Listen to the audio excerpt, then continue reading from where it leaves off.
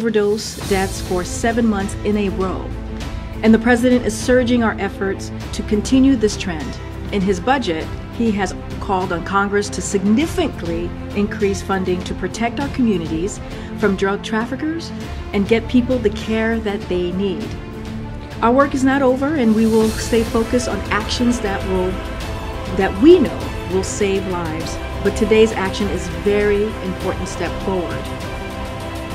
Also, on the Vice President's trip to Africa, I have a few updates for all of you on the Vice President on that trip. Uh, she is going, as you know, she just uh, finished up in, in Ghana. Uh, Tanzania is next, and Z Zambia is also this week as part of her uh, six, seven day trip.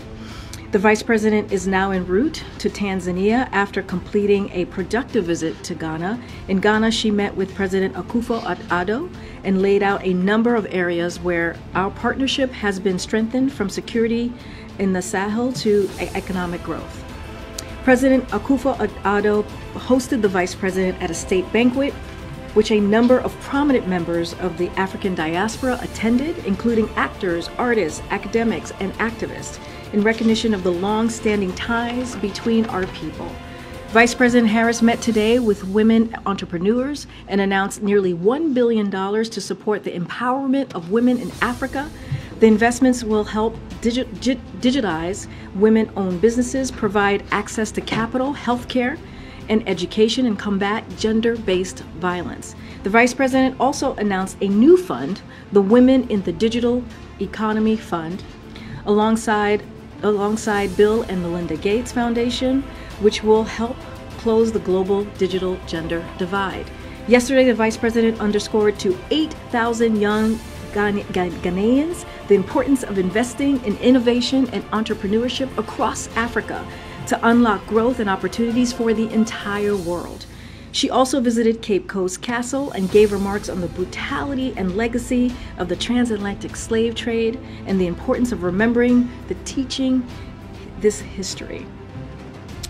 And now my colleague John Kirby is here to share more about the Summit of Democracy. And also, as you know, there is going to be a bilat this afternoon with the President of Argentina.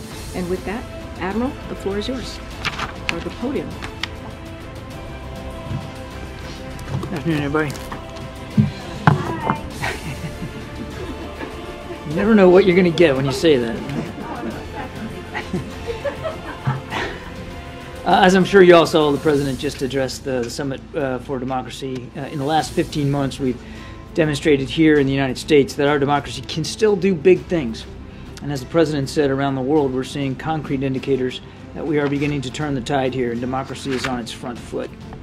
Today, the president announced the United States is making another significant investment in promoting democracies abroad up to $690 million in additional funding for the presidential initiative to expand new and existing programs and policies that support free and independent media, help combat corruption, bolster democratic reformers, human rights activists, defend free and fair elections, and ensure that technology works for and not against democratic societies.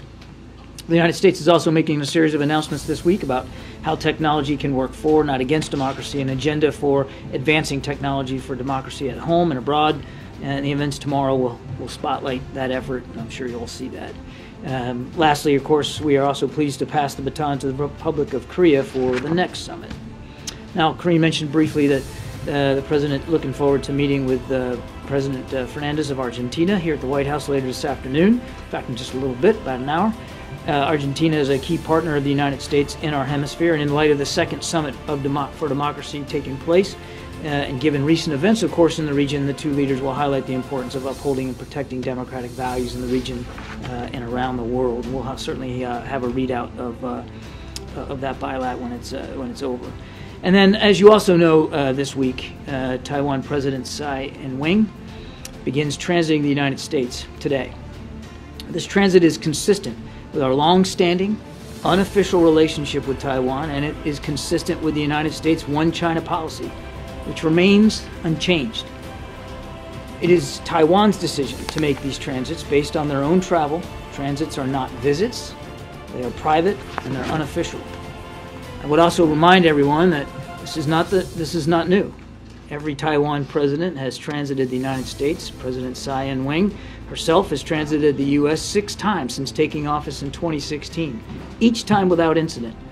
In all previous transits, she met with members of Congress as well as state and local officials and had public appearances. She has also transited through both New York and Los Angeles before, not uncommon. The People's Republic of China should not use this transit as a pretext to step up any aggressive activity around the Taiwan Strait. The United States and China have differences when it comes to Taiwan, but we have managed those differences for more than 40 years. President Biden and this administration has been keeping the lines of, of communication open uh, with Beijing. We want to see that continue on this issue and other issues across the board, uh, and we'll continue to strive uh, to do that. With that, we can take questions. Hey, Kirby, on the uh, transit, uh, Jake Sullivan talked with his counterpart last week. Um, this issue was, I think, among the top issues discussed. Why did you decide not to make that call public? I have nothing to confirm in terms of the press reporting uh, uh, regarding um, uh, that particular phone call. Uh, I would tell you two things. One, Mr. Sullivan routinely has discussions with counterparts around the world. That's not uncommon for, for him and for his job. Um, and uh, number two, we have definitely had multiple diplomatic discussions with Beijing about this particular transit on di- at different levels. They follow first. Yes, I know he has those conversations, but usually you read it out in, you know, in writing and just say he had held a phone call with his counterpart. So on this, uh, in this instance, this didn't happen. But uh, it's actually not true that we read out every single phone call that he has with counterparts. That that we, we don't do that for every single one. Again, I'm not confirming these press reports. Um, in all of your conversations you've had with the PRC leading up to this transit, are you confident that you have communicated or you're in a good spot that they might respond with heated rhetoric, but that's it? Or are you at all afraid that this might be sort of a Pelosi 2.0 scenario? Well, certainly let Beijing speak for itself. We, as I said in my opening statement, there's no reason for them to uh, react harshly or overreact in any way. This is a common occurrence. President Tsai Ing-wen has done it, as I said, six times before. Other uh, presidents of Taiwan have transited the United States. Nothing unusual about this. Uh, certainly, we'll let them speak to their schedule uh, and Beijing speak for itself. But uh, as I said quite clearly at the top, there's absolutely no reason for Beijing to react differently in this regard. Thanks, Karine. Hi, John. Um, I have a question on the Summit of Democracies. Um, Iraq is the only Arab country that participating. How do you encourage, how does the White House encourage other Arab countries to be more transparent and more adhere to democratic values? One of the great one more question on Israel. One of the great things about the Summit for Democracy is it gives us a chance to, to, to speak in a, on a, on a multilateral platform with many nations about uh, what we're all doing to uh, enhance transparency and accountability and and uh, and abide by the consent of the government. And uh, we're delighted that Iraq can participate. Um, you know, and uh, we'll see what the next one looks like and and and who gets invited to attend and, and who participates. Um, but we would hope that that all democracies, as they look at the outcomes of this week, will will want to follow suit. Also in Israel, do you see the attitude of Prime Minister Netanyahu disrespectful of the president? I mean, he's known to not have a good relationship with democratic presidents, including President Obama, where he used to address him publicly in, in the Oval Office. So how do you see this personal relationship playing a role now in Netanyahu responding to the White House call to find a compromise? Well, if you look at his statement uh, that he put out, I mean, uh, there's there's a lot to there's a lot to like about it. I mean, he talked about searching for a compromise. He talked about uh, working towards building a consensus here with respect to these uh, these potential uh, judicial reforms. He talked about uh, how unshakable he knows the relationship is between the United States and Israel, and he talked about his great respect for President Biden. That's a respect that President Biden shares as well. These two gentlemen have known each other for 40 some odd years. Um, and the great thing about friends, and I'm sure you all have friends, you don't always agree with everything your friend does or says, and um, and the great thing about a deep friendship is you can be that candid with one another. Thank you, John. I hear you saying that there's no need for China to respond, and yet they have threatened retaliation um, if the House Speaker meets, meets with the leader of Taiwan. So what is the administration bracing for? We, uh, what we hope to see here is a normal, uneventful transit by President Tsai Ing-wen. Uh, because that's what's happened before, and there's no reason for it to be any different this time, uh, Kristen. I will let Beijing speak for itself, and I'm certainly not going to speak for Speaker McCarthy or his agenda. There is no reason, none, for the Chinese to overreact here. But, but it passed as precedent. We saw what happened when former House Speaker Pelosi visited Taiwan. There was a very robust backlash and response from China. So wouldn't it stand to reason that the administration is bracing for something similar, some type of reaction? We'll have to see what what Beijing does. We'll have to see what what, what they do. I don't want to hypothesize or speculate about uh, reactions here to reactions. There should not be a reaction to this since it's a normal activity. Let me ask you one on TikTok, if I could. The president has warned about his national security concerns um, with Americans using TikTok. Does he also have national security concerns when it comes to other apps that are owned by ByteDance, parent company? The president always, when we look at uh, apps that, that, we allow on our, our government devices, you, you, you always want to take a, a, look at whatever national security concerns might uh, might be prevalent there, particularly when it comes to data transfer. Um, um, and, as, as well as privacy concerns and uh, and, and, just se- secrecy concerns. Um, I, I, don't uh, I, I, don't want to go beyond what we've said in the past here. We certainly have concerns over this particular app on government uh, phones. The president has banned it from uh, government phones, and we'll I have one leave on classified documents. Is that best for you or for? I can take it in a second. I'll take it when. Okay. Yeah. Thanks. Um, two quick questions. Um, President Zelensky told the AP in a pretty extensive interview that he believes President Xi should visit Ukraine. Does the White House agree? We certainly support, uh, at, at, the very least, a conversation uh, between President Xi and President Zelensky. And my goodness, we've been saying that for weeks. And um, you responded to every part of the Prime, Prime Minister Netanyahu's statement except for the part that he said Israel will not make its decision based on pressures from abroad. I was wondering if you could respond to that part of what the what the prime minister said. You think it was a selective response, huh? Well, you got every part of it except for that. um, I look, Israel's a democracy and a sovereign state, of course, and uh, and uh, sovereign states um, make sovereign decisions. Uh, our whole point uh, about this and our whole concern uh, is, and the president has said this himself, that we want to uh, we'd like to see uh, uh, decisions made there with a good friend like Israel, and Israel is a good friend that, that are in keeping with uh, a consensus of, uh, of and, and that can be done with the broadest possible base of, uh, of public support, because that's what that's one of the key components of a democracy, and Israel is a democracy. Uh, and was one of the great things that we share, our two countries share, are some basic fundamental democratic institutions and principles. And one of them is, again, the broadest possible base of public support for major changes like this, changes which affect the system of checks and balances. Thanks. Uh, uh, one question first on the summit. Uh, the administration has said that an invitation to the summit is not some sort of stamp on whether the country is a democracy or not, but when it comes to those who were not invited, for example, two NATO allies, Hungary and Turkey, what was the reasoning behind not inviting them? Yeah, I think I addressed this a little bit yesterday.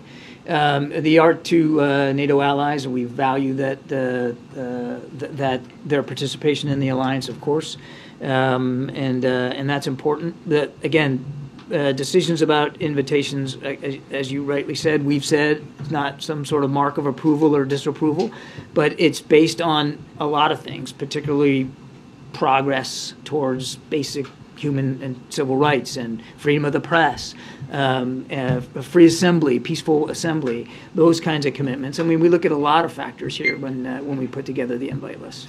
If I could, another one on Argentina. Uh, Senator Ted Cruz this morning uh, introduced or announced that he was introducing a bill to require the president to investigate, among others, the vice president of Argentina, Cristina uh, Kirchner.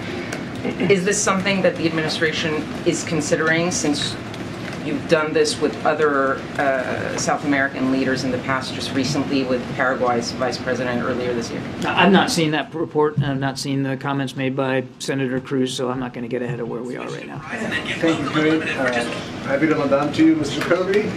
Uh, here. Okay.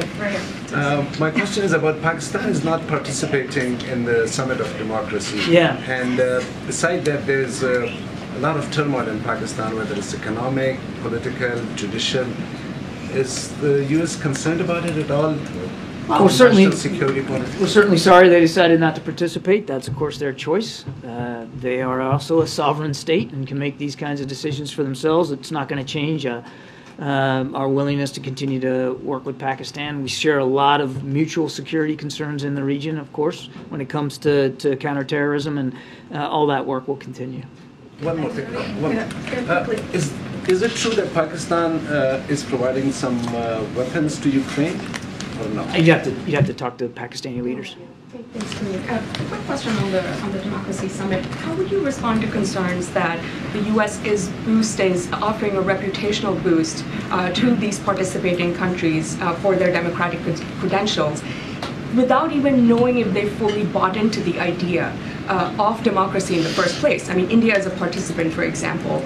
Everything we've seen uh, come from India since 21 cannot be argued uh, as as um, as steps towards uh, you know uh, maintaining a democratic form of government. Um, how would you respond to some of those criticisms that have started to come? It's not a popularity contest. That's not why we do this. It's not about building somebody's reputation or, or, or not. It's about having meaningful discussions about um, the power of democracy and how democracies can be strengthened, deepened, uh, and how they can grow, grow in uh, for themselves and and grow um, as a as a multilateral uh, collection of of like-minded nations. And uh, there's a lot to discuss on the agenda uh, with that regard. And um, uh, I'm sorry, I lost my train of thought. I was on a I was on a roll there. Um, there's a there's there's a, a lot that goes into this, and so it really is about making progress uh, towards strengthening democracies around the world, and that's the goal here. And the invites change from year to year, as you would expect them to change from year to year. There is no meaningful way to, to measure progress, right? You're monitoring progress, but there is no way to measure progress. I mean, India, again, did not even submit their commitments uh, during the last summit, and here they are getting praised for just participating in the summit. It, again, this is a the, the summit for democracy is really all about rolling up sleeves and doing the hard work. And if you, uh, you know, back to the comments that we were a little earlier about uh, about Israel, if you agree with with another democracy on every single issue, then why do you need a summit? I mean, the summits are valuable because. Uh, democracies around the world are facing unique challenges, and sometimes they don't get the answers to those challenges, uh, you know, perfect every single time. That's why you do these things, so you can have those kinds of discussions, and you can work to improve their democracy and the idea of democracy around the world. It's a very much a, a working summit. We, we, have, we have to move on. Thanks, Kirby. Uh, Just just two quick- quick ones. First on on Israel, just for clarity in terms of the president's remarks yesterday, you guys have been consistent about uh, urging the Israeli government to find a compromise as quickly as possible. The president also said yesterday he hopes that he, the prime minister walks away from it uh, in terms of the proposal that's been put on the table. Are those the same thing? I'm trying to see if there's a divergence, walking away just and generally taking it off the table? No, they're, they're completely consistent. We obviously urge Israeli leaders to, to come up with a compromise as soon as possible, and the president's comments yesterday about walking away from it are perfectly consistent with, with uh, finding a compromise that, um, uh, that again preserves checks and balances in Israel. And then, in terms of uh, potential conversation between Presidents Biden and Xi, um, I know this is, we've been going back and forth about this for the last several weeks. Um, I think the concern at this point is that there are, in the months ahead, a series of potential irritants, whether perceived uh, or real, that are only going to make it more unlikely. Do you still feel like it's something that can happen on the near term, or is this something that's pushed off indefinitely? I would not agree with your assumption that, it- that things will make it more unlikely or less likely. The president still wants to keep those lines of communication uh, open, Phil, and uh, and he has said himself that uh, he looks forward to having another conversation with President Xi, and that will happen. It will happen at the appropriate time, and of course, when it does, we'll we'll let you all know. I'm gonna go to the back. Raquel, in the back. Thank you very much, uh, Karine and John. Uh, two questions. One, uh, is the White House ready to sit down with Maduro's government uh, to solve, to try to solve the political crisis in Venezuela, as the State Department uh, suggested today? Uh, we're interested certainly in having continued discussions here, uh, but I'm not aware of any formal meeting. And uh, about this tragic fire that killed uh, dozens of people in Mexico, uh, migrants were waiting for asylum here in the United States. Can the White House do anything to avoid this kind of tragedies uh, and actually having a more humane uh, immigration system as President Biden promised during the We are working towards that. First of all, I mean, just tragic what happened uh, to, to these individuals, and uh, a lot of grieving families here as a result of that. And uh, uh, certainly, uh, should Mexican authorities need any support or assistance from us, we'd, we'd happily provide it. They're investigating, of course, as, as is appropriate. Um, but one of the reasons why, I mean, th- this underscores, this event underscores why President Biden is working so hard on trying to open up more legal pathways uh, for people to come into the United States and to do it in a way that's safe and secure. And that's basically a foundational element of the migration immigration policy that the president has been trying to uh, to pursue. And again, uh, urges Congress to to act on immigration reforms that, that he put forward at the very beginning of the administration. Thank you, John. Yeah, uh, thanks. Uh, Senate Democrats are saying that national security is being threatened by Senator Tommy Tuberville. He's upholding more than 160 uh, military promotions over abortion policy in the Department of Defense. Uh, does the White House? Um, sorry. It's all right. Senator Take your time. protest. Lost my lost my uh, place there. I know what it's like to do that. um, so I think you all know he's blocking uh, Defense Department nominations, including the promotions of over 160 senior military leaders, adm- admirals and generals, um, and nominees for top acquisition and sustainment positions, uh, civilian uh, positions at, at, at DoD, uh, right at a time when budget has gone forward, and you got the top leaders of the Defense Department testifying on this budget, biggest budget ever for DoD, uh, and at a time when we are still trying to support Ukraine, while we're still facing challenges in the Indo-Pacific, a wide range of challenges. It's not just all about China. I mean, look at what North Korea has done in recent days. Um, and when you hold these promotions up, uh, you there is, as Secretary Austin said, a real ripple effect downstream, because now people can't move on to the next job, uh, and they can't leave the one that they're in, and they can't assume these new uh, jobs of responsibility. Uh, and it absolutely, if it if it goes on too long, it, it could absolutely have an effect on U.S. military readiness around the world. We noticed that there were some Senate Republicans yesterday who urged Senator Tuberville to drop these blocks themselves, and we certainly uh, welcome that and, and agree with them. I've got one other on Ukraine. Uh, three inspectors general overseeing U.S. aid to Ukraine have received 189 complaints of alleged misconduct the, as of the beginning of March. Uh, they said that they don't see any evidence of diversion so far, but in any case, are you aware of those reports and uh, are you concerned about Sorry, them? the reports of, I missed the first part of your question. 189 complaints of alleged uh, misconduct. I- I'm not aware of, um, of those specific reports. We haven't seen any evidence that, um, uh, that there's been uh, any egregious misconduct when it comes to uh, managing the security assistance that's gone into uh, Ukraine. Uh, I would note that the Ukrainian officials also share our concerns about making sure there's proper accountability and transparency of things getting in and moving around the battlefield. We have welcomed congressional uh, uh, oversight of this, as well as uh, their calls for you know for additional work. In fact, we've stood up now three, I think, inspectors general general at, the, at DoD to to help manage uh, accountability oversight. Uh, we think all that's a good thing, and we're going to keep we'll keep working at it. It is important to remember. I would add just one last point. It is a war, and we all want to have as much oversight and accountability as possible. Of course, we do. It's taxpayer-funded equipment and systems that are going to Ukraine, but it is a war. Um, and real people are fighting, and real people are dying. Um, and in battle, you can't predict every single the, the, the perfect secure movement of every single item uh, that every single sol- soldier takes into the fight with him or her. Good, Steve. Thank you, Karine. Um, I have a uh, press freedom follow-up on the president's democracy remarks, and then I'd like to ask you about fentanyl in China. Um, on press freedom, the journalist Matt Taibbi uh, this week said that the IRS visited his home on the same day as he testified to a House Select Subcommittee on the alleged weaponization of government.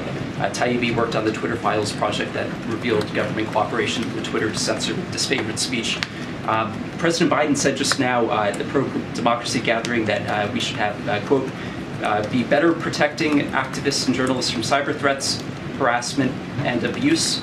Um, there, of course, have been domestic issues with the U.S. treatment of journalists, as a colleague in our sixth row could attest. Um, but I was wondering if you could uh, respond to this Taibbi visit by the IRS and say whether this is part of a campaign to harass or intimidate him related to his journalism. I'm afraid I'm going to have to refer you to the IRS. Uh, regard, regarding China and fen- re- regarding China and fentanyl, uh, Congressman Mike Garcia today called for the U.S. to quote put a finger on the chest of China to address the root of the crisis. Uh, President Biden talked about fentanyl in Canada recently. He didn't mention that it's coming mostly from China. Uh, this has been kind of a recurring feature, including at the State of the Union.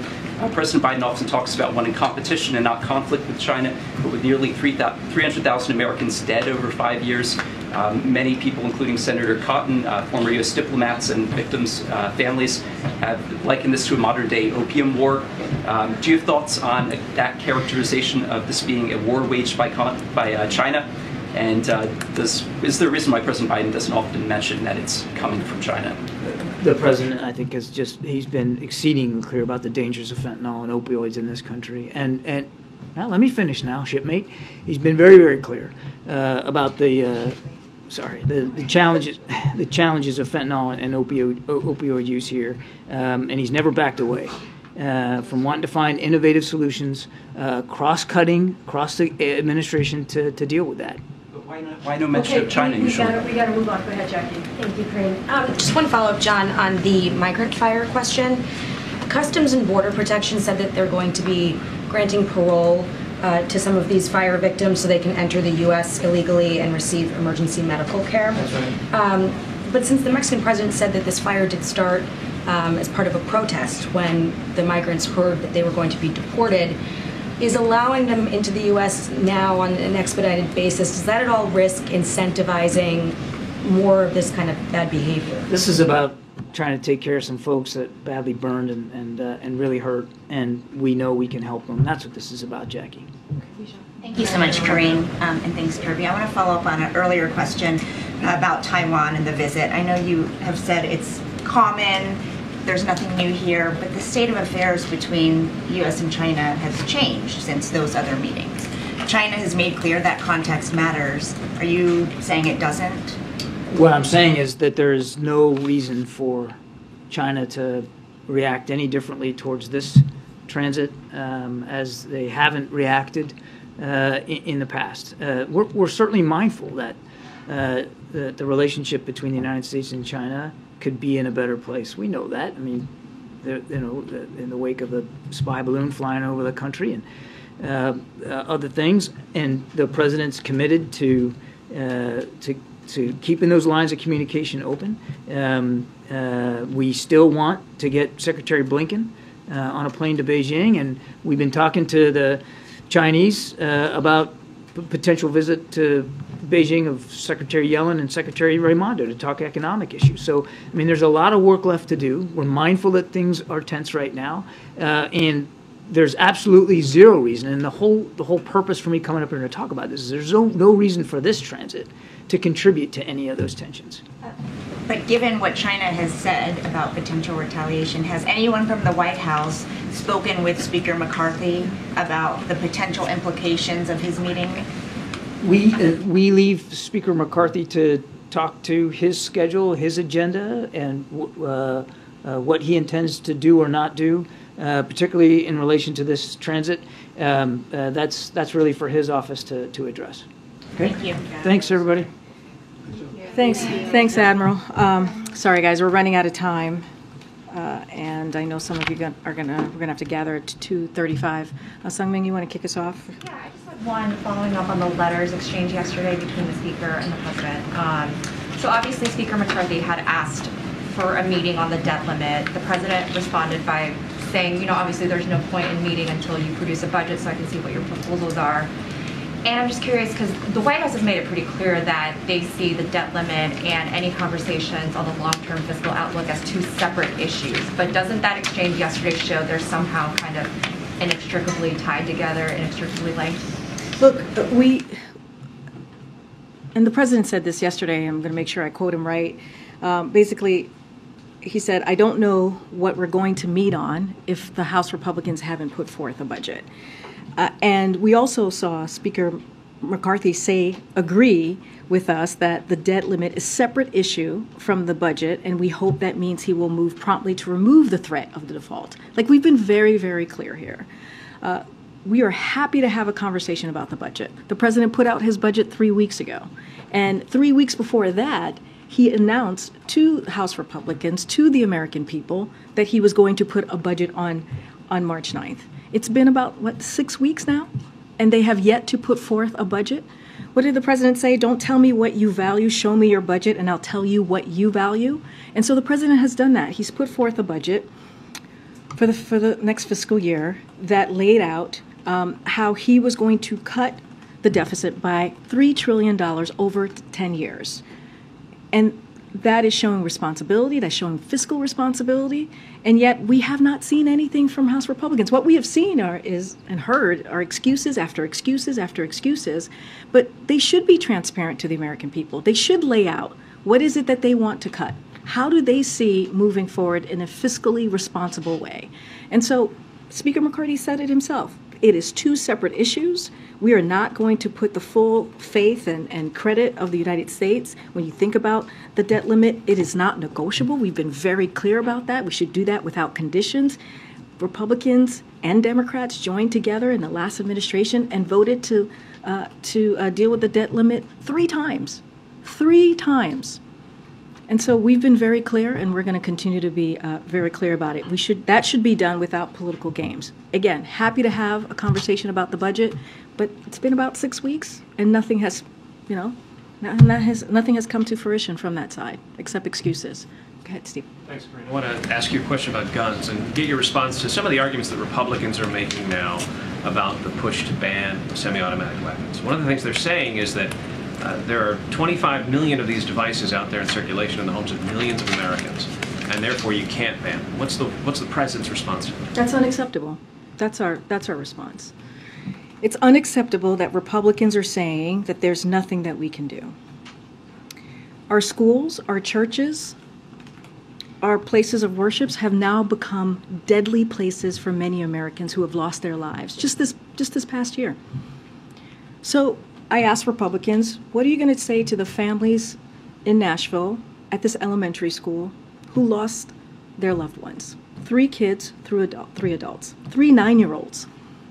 Is that what they're going to say to them? That there's nothing else that we can do?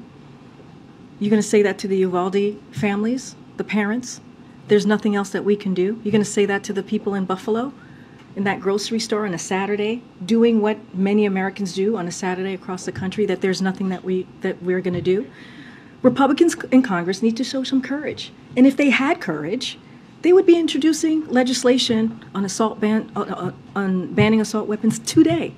That's what they would be doing today.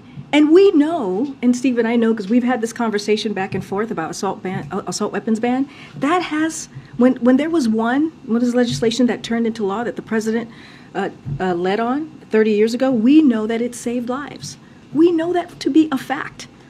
But yet they refuse. They refuse to move forward, and yet guns, as we know, is the leading cause that are killing our kids and they refuse. They refuse to show some courage and do anything about it. And that's shameful. I just want to ask a quick follow up. Um, in the last presidential campaign, one of the Democratic contenders said that what he would do is come for AR 15s. Does the president support not just banning the sale and manufacture of semi automatic weapons, but further than that, confiscation? Let's, let me just be very clear. What we're talking about AR 15s, these assault weapons ban. They are weapons of war and they should not be on the streets across the country in our communities. They should not be in schools. They should not be in grocery stores. They should not be in, in churches. That's what the president believes. And he has done more than any other president the first two years on an executive order. And as you know, we all know how government works. There's only so much that he can do. And so now it's time for Congress to do the work.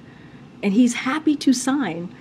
Once that happens, he's happy to sign that legislation that says, okay, we're going to remove assault weapons. We're going to have an assault weapons ban.